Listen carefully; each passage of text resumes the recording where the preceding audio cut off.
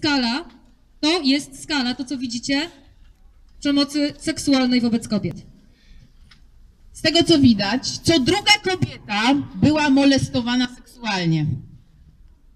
Drodzy panowie, byliście przerażeni, zresztą nie tylko panowie, wiele pań również o tym pisało, y, z taką dezaprobatą troszeczkę, kiedy po internecie rozlała się fala zwierzeń z hashtagiem MeToo, czyli ja też. Okazało się, że mnóstwo waszych przyjaciółek, koleżanek, partnerek miało problem, spotkało się kiedyś z molestowaniem seksualnym. To niekoniecznie, drodzy panowie, musi być od razu gwałt. To jest również potraktowanie nas jak przedmiot. Jest okej. To jest również potraktowanie nas jak przedmiot w sposób słowny. To jest również potraktowanie nas jak przedmiot w sposób, w sposób słowny. Nie każda z nas chce usłyszeć na ulicy głośno, że ma fajny tyłek. Nie każda z nas chce zostać w ten tyłek klepnięta. I to nieprawda, że chcemy zabijać flirt. Nie, pomiędzy flirtem a klepaniem w tyłek jest naprawdę ogromna przestrzeń. A klepanie w tyłek to jest po prostu molestowanie seksualne. Gwałt. Drodzy panowie, drogie panie, dwie kobiety na dziesięć zostało zgwałconych. Zostały zgwałcone, czyli użyto wobec nich ogromnej, strasznej, brutalnej siły. Niektórym z nich kompletnie złamało to życie. Kiedy w zeszłym roku dziewczyna, 26-letnia Monika, była przez 10 dni gwałcona i torturowana przez trzech mężczyzn, tutaj niedaleko, na łódzkim Widzewie. Sprawców tego, pod, tego potwornego czynu wypuszczono, przesłuchaniu wypuszczono z aresztu. Dopiero kiedy dziewczyna zmarła w szpitalu po tych 10-dniowych po- torturach, aresztowano ich ponownie. O czym to świadczy?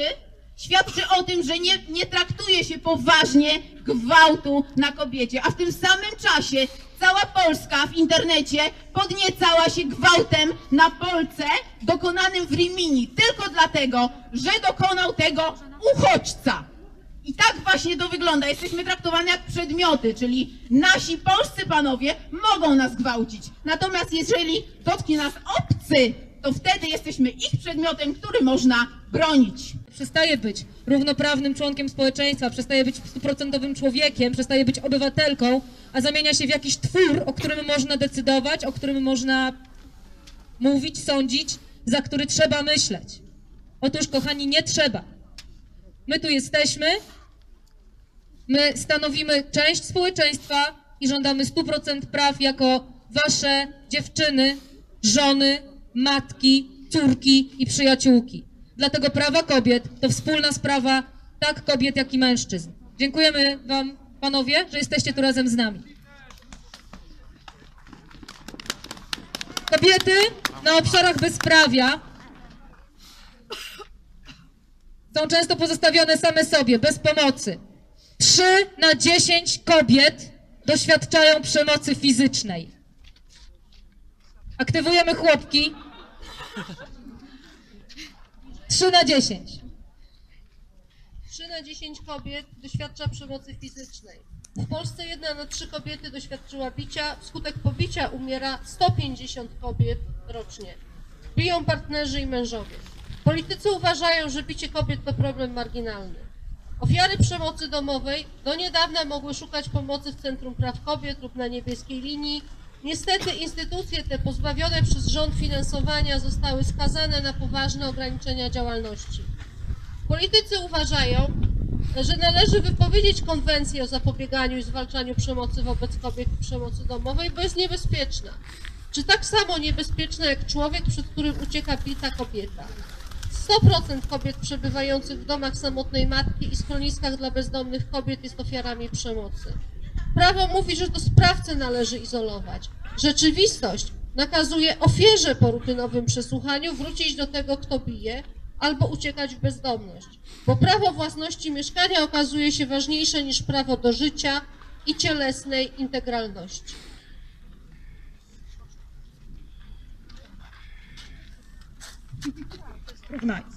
Słuchajcie, na gruncie naszej kobiecości, seksualności, jesteśmy tak naprawdę jak na polu walki, bo cokolwiek nie zrobimy, to jest źle. Jesteśmy nie tak ubrane, nie tak umalowane, pijemy alkohol, e, chodzimy po nocy, w ogóle cho- wychodzimy z domu. To wszystko, słuchajcie, to wszystko jest powodem do tego, żeby nas macać i żeby nas zgwałcić. Bo uwaga, bo mężczyzna po prostu tak ma. Tymczasem my się na to nie zgadzamy. Opowiemy Wam o tym za chwilę, bo statystyki mówią, że 5 na 10 kobiet. Mamy na razie 4, gdzie piątka? Dzięki. 5 na 10 kobiet było molestowanych seksualnie. 2 na 10 zostały zgwałcone. To jest skala, to jest skala, to co widzicie, przemocy seksualnej wobec kobiet. Z tego co widać, co druga kobieta była molestowana seksualnie. Drodzy panowie, byliście przerażeni, zresztą nie tylko panowie, wiele pań również o tym pisało, y, z taką dezaprobatą troszeczkę, kiedy po internecie rozlała się fala zwierzeń z hashtagiem MeToo, czyli ja też. Okazało się, że mnóstwo waszych przyjaciółek, koleżanek, partnerek miało problem, spotkało się kiedyś z molestowaniem seksualnym. To niekoniecznie, drodzy panowie, musi być od razu gwałt. To jest również potraktowanie nas jak przedmiot. Jest okej. To jest również potraktowanie nas jak przedmiot w sposób słowny. To jest również potraktowanie nas jak przedmiot w sposób, sposób słowny. Nie każda z nas chce usłyszeć na ulicy głośno, że ma fajny tyłek. Nie każda z nas chce zostać w ten tyłek klepnięta. I to nieprawda, że chcemy zabijać flirt. Nie, pomiędzy flirtem a klepaniem w tyłek jest naprawdę ogromna przestrzeń. A klepanie w tyłek to jest po prostu molestowanie seksualne. Gwałt. Drodzy panowie, drogie panie, dwie kobiety na dziesięć zostało zgwałconych. Zostały zgwałcone, czyli użyto wobec nich ogromnej, strasznej, brutalnej siły. Niektórym z nich kompletnie złamało to życie.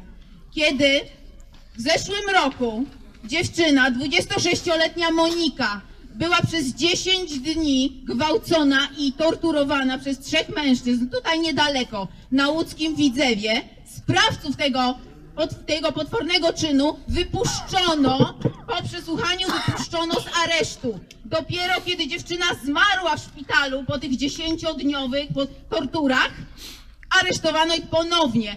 O czym to świadczy? Świadczy o tym, że nie, nie traktuje się poważnie gwałtu na kobiecie, a w tym samym czasie cała Polska w internecie podniecała się gwałtem na Polce dokonanym w Rimini tylko dlatego, że dokonał tego uchodźca. I tak właśnie to wygląda. Jesteśmy traktowane jak przedmioty, czyli nasi polscy panowie mogą nas gwałcić. Natomiast jeżeli dotknie nas obcy, to wtedy jesteśmy ich przedmiotem, który można bronić.